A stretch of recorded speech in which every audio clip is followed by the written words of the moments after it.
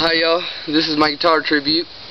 I won't be doing anything funny, but I wrote this song for a girl that means the world to me, and I love her. Her name's Sydney. Alright, here we go.